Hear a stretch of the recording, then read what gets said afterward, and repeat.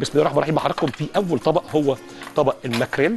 الماكريل بصراحة عايز أمشيه بفكرة آه صينية. بسم الله الرحمن الرحيم. صينية وخضار وكل حاجة ولكن التتبيلة تكون مختلفة شوية. إيه التتبيلة وإيه اللي مختلف شوية؟ يلا بينا. بسم الله الرحمن الرحيم. عندي الأول خالص بس هفرمها شوية برضو أنا شغال. حتة جنزبيل. بسم الله. هتقول لي جنزبيل؟ أقول لك اصبر بقى عليها عشان إيه؟ النهارده في لعبه عالي جدا. أنا أجيب سكينة أكتر نفرم بيها. جنزبيل بفرمه كده هو طبعا بيتقشر وبينبشر زي ما حضراتكم شايفين. بفرمه فرمه كويسة جدا كده الأول. ده اللي هيبقى معايا في الحشو والتتبيلة. هي هي نفس الموضوع ولكن الحشو هيبقى التفلة أو الخرز أو القطعتين الصغيرة دي والمية هي اللي هتبل بيها السمكية من بره. وبس. أدي كده الثوم. وعندي كمان حبة كرفس على كرات برضه بفرمهم معايا على القطاعه هنا كده. كله يبقى في نفس الطعم. بحط كل حاجة في الفرن هنا بتفرق جدا. هتقولي طب لو حطيتهم في البوله يا شيف وقلبناها ما يفرق هقول لك مش هتفرق كتير ولكن لا اللي بعمله ده هيفرق أكتر وأكتر. ليه؟ لأن بخرط أو بخ بخلط كويس جدا جدا. كل الخليط أو كل الخضروات مع بعضيها فال taste بيبقى مختلف تماما. ده كده كرفس على كورنيت على جنزبيل. طيب لسه بدري لسه هنكمل بقية الحكاية. عندي ورق كرفس ورق كرفس. هنزل بيه برضو وأروح فرمه. كده. أنا عارف إن ممكن حد يستغرب التتبيلة دي ممكن تمشي مع قاروص مع دينيس مع سمكة سلمون. أقول لك ملهاش علاقة مفيش أي سمكة نزلت يوم ما اتولدت معاها. يعني إيه مقادير في شهادة كده أو شيء. لا كل السمك خلقه ربنا وكل واحد بيعمل الطريقة اللي يحبها وال taste اللي ممكن يكون مقبول عندنا. دي خلطه شايف الملامح عاملة إزاي؟ أقول لك لسه. إيه بقى تاني؟ عندي حبة شبت مفرومين. عندي كمان حبة كزبرة خضراء. مفرومين. عندي كمان قرن فلفل في النص كده. هروح فرمه كمان. عفوا.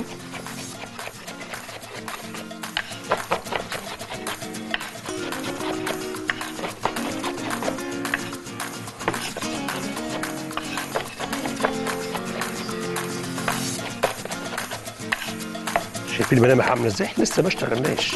لسه نحط بهارات وتوم وحركات وكل حاجة بس أنا بحب الأول إيه؟ أوضح كل شيء. بص المنظر عامل إزاي؟ أي حاجة خالص. بسم الله أهو. ادي الحشو بتاع السمكية اللي أنا هشتغل بيها النهارده. إيه هي السمكية يا شيف؟ هي سمكية مكرمة. طيب وبعدين يا شيف؟ والله التتبيله تمام التمام. طب وبعدين أقول لك تعالى بقى نجيب حبة بهارات حلوين. معلقة بهارات سمك. حلوة كده كاملة أهي. هاخد نص كزبرة ناشفة.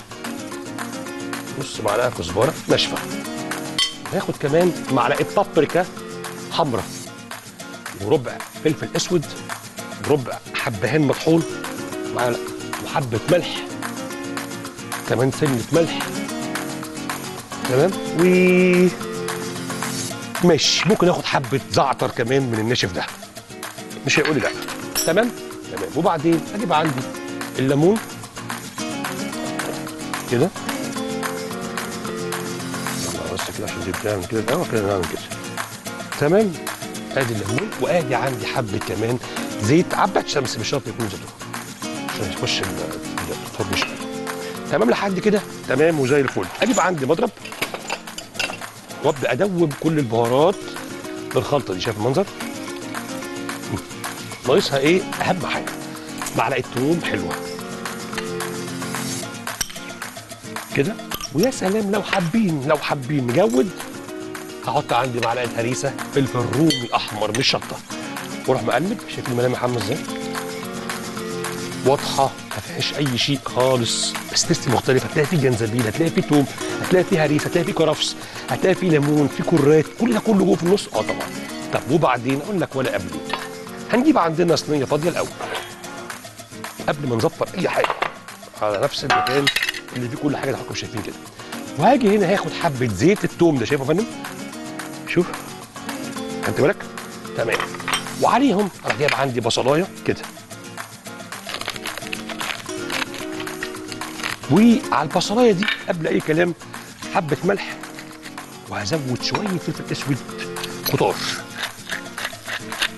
كده. فلفل أسود تاني. تمام. وأمسك البصلاية دي بزيت الثوم مع فلفل أسود وأدعكها مع بعض كده بالشكل ده. في ريحة. أكيد في ريحة. ريحة الثوم مش مش توم بقى ده زيت التوم مع الفلفل الأسود.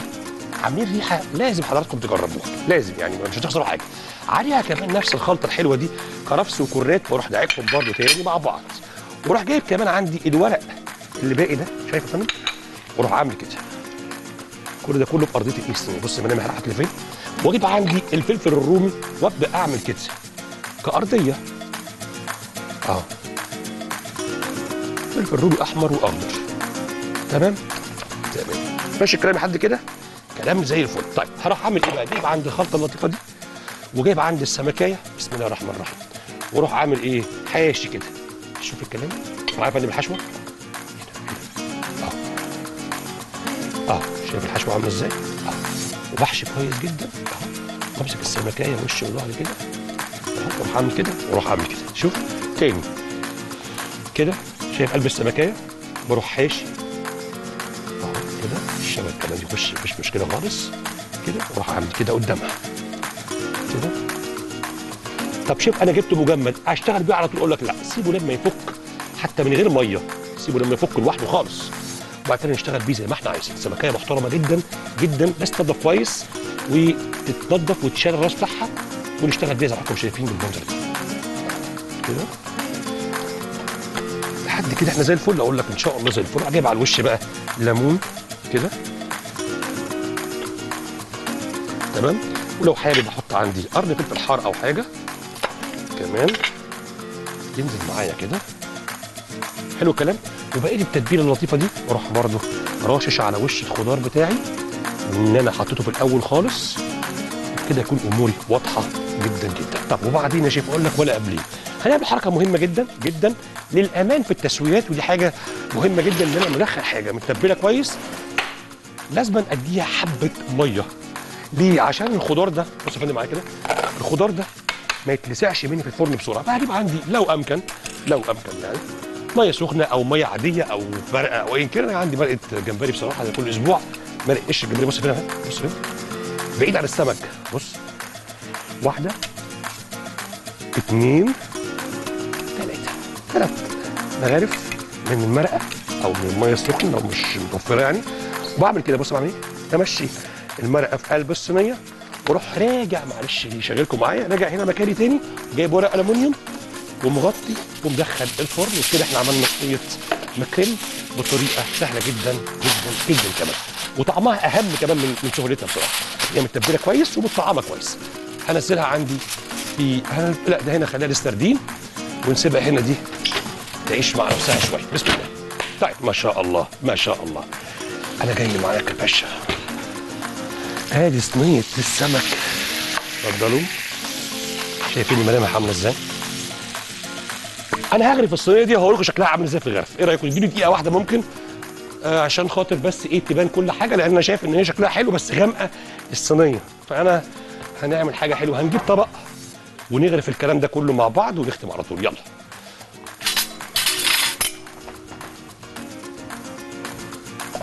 بسم الله. أول حاجة في الغرف ما غرفش السمك أصلا. يعني إيه؟ يعني أركن السمكية دي على جنب وأجيب كل الخضار الحلو ده الشياكة ده كده. معايا يا فندم في الغرف.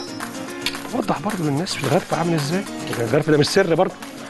آه آخد الخضار ده كده وأبدأ أروح أعمل كده. معايا يا فندم؟ وأروح أعمل دي أرضية حلوة هنا. حلو الكلام. تاني. كده. الغرف ده مهم جدا يا جماعة والله. يا إخواتي كل الناس بتتفرج علينا. مهم جدا لما تيجي تغرفي طبق. تغرفيه صح عشان تطلعي مجهودك في الطبق كويس ما يبقاش شكلا وخلاص بقى اللي هو تعبت وعملت طبخة ومش عارف إيه وفي النهاية كله على بعضه اتغرف ضيعتي يعني جمال شغلك. فالأفضل إن إحنا لما نيجي نعمل كده نعمل بالطريقة دي. هنستفيد جدا هقول لكم قصدي إيه. أنا عملت كده أهو الخلطة كلها. شوف كده. آه، البصل والخضار وكل حاجة حطيناها. آه استغل كل حاجة في الصينية أحسن بكتير جدا من كان في بص حاجة زي كده مثلا آخد بالي منها دي قشرة مش عايزها. تمام؟ تمام. وبعدين يا شيف هقول لك بقى أجيب السمكية. بص بمسكها إزاي؟ شوف بمسك السمكية إزاي؟ عشان ما يحصلش أي إيه حاجة كده ولا كده وأبدأ أفرش السمكية كده. بص بقى شوف. خدت بالك أنا قصدي إيه؟ تاني. أمسك السمكية من أولها لحد آخرها ما تخافوش مش هتقع منكم وأروح جاي عامل كده. وشوف بعمل إيه؟ بكل بساطة. آه كده. كده. روح جاي عامل كده ولا بس. كده. وروح جاي عامل كده اخر واحدة. شوف تمام لحد كده؟ تمام. طيب واللي في الطبق أقول لك ثانية واحدة أنا الطبق ده هيخلص حالا دلوقتي بس بطريقة حلوة. هجيب عندي أي مصفى. وأروح جاي عامل ملمع كل الكلام ده كله بالتتبيلة دي على الوش. شوف. وهلمع في الآخر. وهلمع الطبق بتاعي بعد ما انزل الصوص بقى. آه شوف الصوص.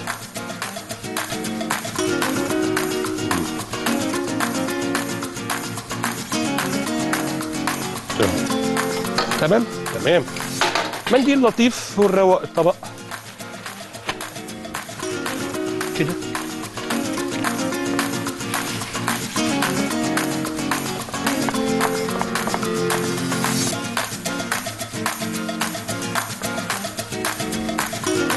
الليمون البردي بتاعنا. هعمل لاين كده عشان الصوص ما يطلعش. كده. ومنه يبقى كمان crunch. ليمون كتير شوية. لو حبينا هيدي taste كويس وهيبقى برضو مدي لطافة مع حاجة خضراء كده داير ما يدور. كزبرة أو شبت. وبكده يكون بالهنا والشفا حضراتكم طبق ما فيهوش أي حاجة ولكن تفرق كتير في ال crispy على الوش دي في الآخر. ماكريل بالطريقة المصرية وبالهنا والشفا لحضراتكم ما فيهاش أي صعوبة والله.